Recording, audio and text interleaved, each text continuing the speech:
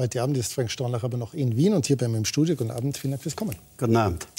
Herr Stronach, warum verachten Sie Politiker eigentlich so? Ich habe nicht gesagt, dass ich verachte. Ich habe nur gesagt, wir haben zu viele Berufspolitiker und wir können die Politiker nicht allein regieren lassen, das ganze Land. Nicht das Mandat, wir müssen einmal verstehen, dass die Regierung ist das Management eines Landes und unglücklicherweise ist dieses Management besteht aus Politikern.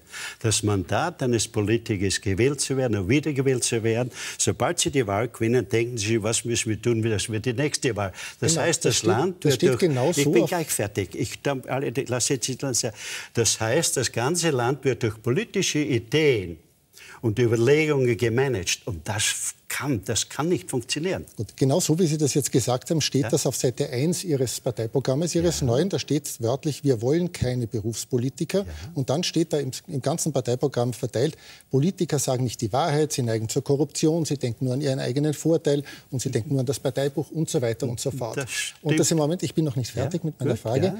Und das Interessante daran ist aber, dass Sie in Ihrer ganz neuen Partei aber etliche Berufspolitiker haben. Zum Beispiel Herrn Köfer, Ihren neuen Landesrat in Kärnten, Ihren Spitzenkandidaten in Salzburg oder Ihre jüngste Nationalratsabgeordnete Frau Schenk, die ihr ganzes Berufsleben überhaupt nur als Parteiangestellte verbracht hat. Aber noch einmal, man muss sehen, dass diese Leute erstens einmal Mut gehabt haben und dass sie auch intelligent genug sind, dass sie wissen, sie sind bei Parteien dabei, bei Politikern, wo es keine Zukunft gibt. Nicht? Wir haben eine Regierung, die für 50 Jahre nur Schulden macht. Das kann der für dich nicht. Aber jetzt weichen Sie mal aus. Das heißt, Berufspolitiker beim Team Stronach sind gute Berufspolitiker, alle anderen sind schlechte Berufspolitiker. Nein, die müssen auch nach den Werten, wir werden einen Ehrenkodex haben, die, die unterschreiben müssen. Und wir sagen, Politiker Maximum zwei Perioden. Ich möchte hier noch sagen, ich habe nie gesagt, dass die Politiker lügen dass die nicht die Wahrheit sagen. Aber natürlich, es, das steht nein, in Ihrem Parteiprogramm, nein, nein, Herr Stronach, ich weiß, das ich weiß, Nein, nein, ich weiß Politiker genau. sagen nein, oft nicht die Wahrheit, das steht ja, in Ihrem das Parteiprogramm. Das ist ein Unterschied, wenn man sagt, die Politiker äh, sagen nicht die Wahrheit. Und genau das, das habe ich zitiert. Nein, nein, ja genau, aber, aber hier im Partei stehen, sagen oft nicht die Wahrheit, das ist ein Unterschied. Und oft heißt, äh, wie viel, 10 Prozent, 20, aber ja, ich, weiß ganz, ich weiß ganz genau, was ich sage. Okay?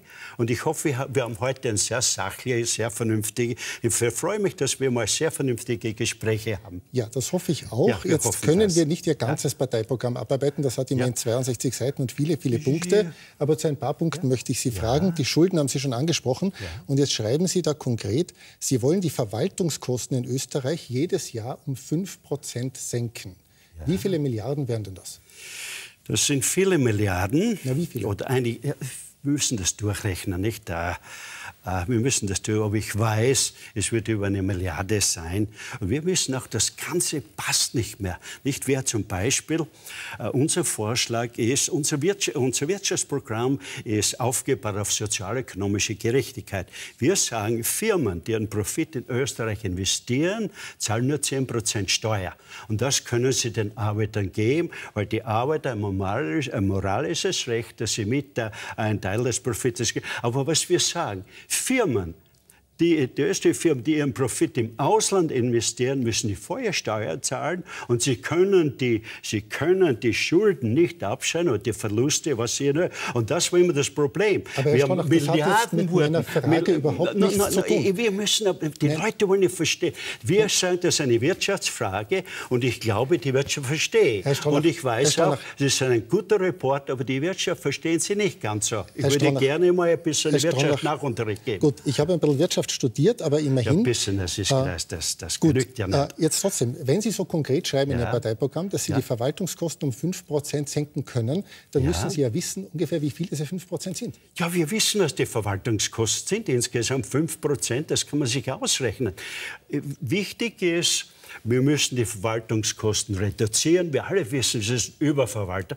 Wenn du in Österreich eine Schuhmacherei anfangen willst, ein Friseurland, du musst da zig Hofrege gehen, äh, Dinge ab, äh, Prüfungen ablegen. Also wenn die, pass auf, wenn die Schuhe nicht passen, kaufst du keinen ab. Das hat mit Umwelt nichts zu tun. Wir brauchen, wir müssen die Wirtschaft ankurbeln. Herr Stronach, die diese Wirtschaft, Sätze bestreitet ja niemand. Das unterschreibt ja, ja jede andere nein, Partei auch. Wir müssen mal wichtig, es muss schon mal verstanden, wie die Wirtschaft funktioniert. Die Wirtschaft wird von drei Kräften geschrieben. Getrieben. Äh, getrieben. Gute, kluge Manager, fleißige Arbeiter und Investoren. Und ich sage, die Arbeit haben ein moralisches Recht, am Teil des Propheten, den, die, den sie durch ihren Fleiß mitarbeiten. Und dadurch besteht ein ganz anderes Denken und, und äh, die Arbeiter sind mehr motiviert, sie sind dann, äh, sie sind dann mit Herz dabei, sie denken nach, das führt zu neuen Produkten, man wird produktionsfähiger. Herr Stronach, kennen Sie den Schriftsteller Mark Twain?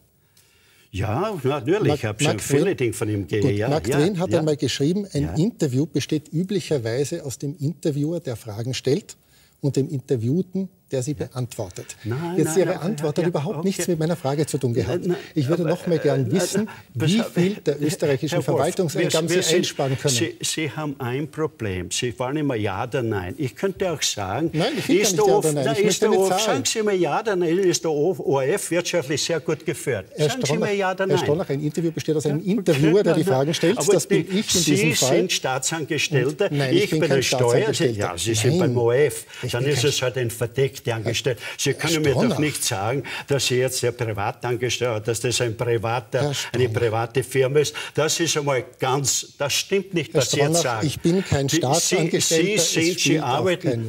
Wissen Sie, was Korruption ist? Korruption? Ja, nein, nein, Korrup nein, ich glaube nicht, glaub nicht. Korruption ist auch Leute, die bewusst Korruption, Korruption, Strukturen und, und, und, und Werte unterstützen. Und ich glaube, manchmal im Herzen, im Denken, gebt ihr mir recht.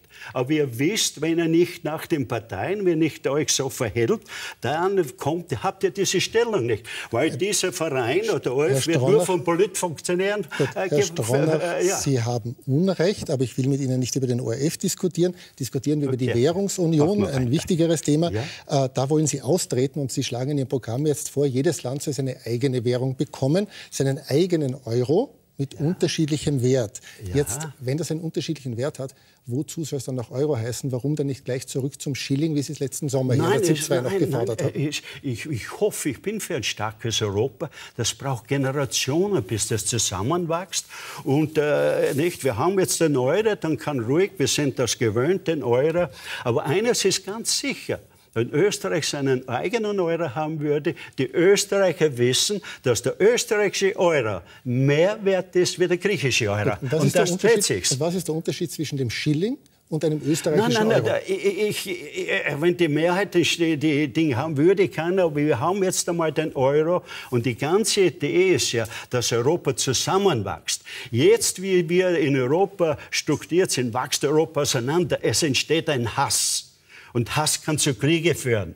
Und das müssen wir vermeiden. Also um Griechenland, man da die Bilder, die Merkel mit Schnurrbart wie der Hitler und so weiter, wie, entsteht ein Hass. Das funkt, es funktioniert nicht mehr. Das war eine Fehlkonstruktion, die gemeinsame Währung. Weil wenn jede, jedes Land seine Währung hat, dann kann ein Land aufwerten oder abwerten, wieder konkurrenzfähig zu sein. Gut. Das sind alles ganz wichtige Wirtschaftsfragen. Alles das wäre noch etliche Nachfragen wert, aber ja. es gibt noch so viele andere interessante Punkte. Ja. Auf Seite 20 Ihres Parteiprogramms steht, wer nichts zu verbergen hat, kann auch alles offenlegen. Genau. Jetzt haben Sie in den letzten Monaten mehrfach angekündigt, dass Sie Ihre persönlichen Finanzen offenlegen werden, haben aber dann letztlich immer nur den gleichen Satz gesagt, nämlich, dass Sie in Österreich ungefähr zwei Millionen im Jahr verdienen und eine Million Steuer zahlen. Wann so machen Sie denn Ihre, so ungefähr, genau, Na, wann machen Sie denn Ihre kann Ankündigung den Ich werde den Auszug vom Finanzamt denken und das ist, das ist es. Ne? Wann machen Sie das? Das kündigen Sie ja, seit vielen ich, Monaten nein, an. Nein, aber ich sage das und ich kann nicht, letztendlich wird einmal der Auszug vorkommen und wo ungefähr draufsteht, zwei Millionen ich sage Millionen Steuer und das ist nicht kompliziert. Gut, dürfen, wir den, dürfen wir den morgen filmen? Bitte? Dürfen wir den morgen filmen? Ich, muss dann einmal, ich muss das einmal schauen, wo das ist. Ja, aber Sie kündigen das seit August schon an. Ja, aber es, es ändert ja nichts. Also wenn ich etwas anders sagen würde, ich würde ich als Lügner dastehen. Ja, wir können es ja nicht überprüfen. Na, na, na, ja, ich sage, ihr kriegt es einmal. Aber okay. was heißt einmal? Ja, einmal. Ich meine, pass auf, das Finanzamt äh, wird immer meist nach, nach Jahren, nach einem Jahr abgerechnet und da gibt es eine genaue Überstellung. Gut, aber man kann den Eindruck gewinnen, Sie meinen es nicht wirklich Nein, ernst nicht, mit Ihrer ich Ankündigung. Ich meine das ernst. Ich habe nichts zu verbergen. Überhaupt nicht. Also wir bekommen das, dürfen das abfilmen. Ihr könnt ja das abfilmen. Ja. Gut, wir kommen mhm. darauf zurück. Jetzt geht es in Ihrer Partei ja. derzeit ja ziemlich chaotisch zu. In Niederösterreich können sich die Abgeordneten seit über einem Monat nicht einigen, wer, Land, äh, wer Clubobmann werden soll. Und in Tirol wurde vor zwei Wochen, fünf Wochen vor der Wahl, Ihr Parteiobmann abgesetzt und der ebenfalls abgesetzte Landesgeschäftsführer, der tritt jetzt mit seiner eigenen Liste Team Stronach an, die nicht Ihre Liste ist. Jetzt fliegen Sie morgen nach Tirol, um mit ihm zu reden. Und ich höre aber heute aus Ihrer Partei, Sie werden ihm da morgen sagen, dass Sie ihn nicht unterstützen werden und seine Liste nicht finanzieren Nein, das, werden. Stimmt das, das stimmt ja alles nicht. Ich habe heute, ich habe heute das erwähnt, ich wurde dreimal gefragt an der Pressekonferenz. Ich habe gesagt, ich fliege morgen nach Tirol. Ich schätze Tiroler sehr. Tiroler sind sehr freiheitsliebend, wollen nicht dominiert sein von irgendjemandem, nicht von Wien, nicht von Brüssel und auch nicht von mir. Wir sind eine junge Partei, wir machen welche Fehler. Nicht? Wir haben in der kurzen Zeit, nicht? wir haben also Tausende und Tausende von Leuten kommen und wollen mit dabei sein und da passieren welche Fehler. Aber letztendlich, wenn die Werte nicht stimmen und äh, wo mein Name draufsteht, dann müssen die Werte stimmen. Ich fahre morgen raus, ich werde mal zu den, Tirol, äh, zu Tirol sagen, was ich, ich schätze Tirol sehr. Tirol ist ein sehr, wichtige, äh, sehr wichtiges Land für Österreich und ich verstehe die, die Unabhängigkeit und so weiter. Und ich werde dann mit den einzelnen Leuten sprechen, einmal mir ein Bild machen, was ist da falsch gelaufen.